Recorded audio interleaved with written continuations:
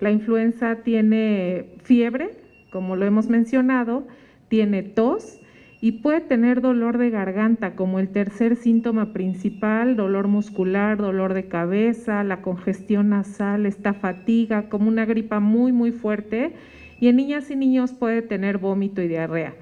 El COVID, hemos dicho que la definición operacional y los síntomas clásicos de COVID, pues es fiebre también mayor de 38 grados, tos, dolor de cabeza y esta puede dar también dificultad para respirar. Hay personas que con COVID tienen escalofrío, también tienen escurrimiento nasal y muy importante esta pérdida del gusto y del olfato en COVID y que en influenza no siempre se presenta.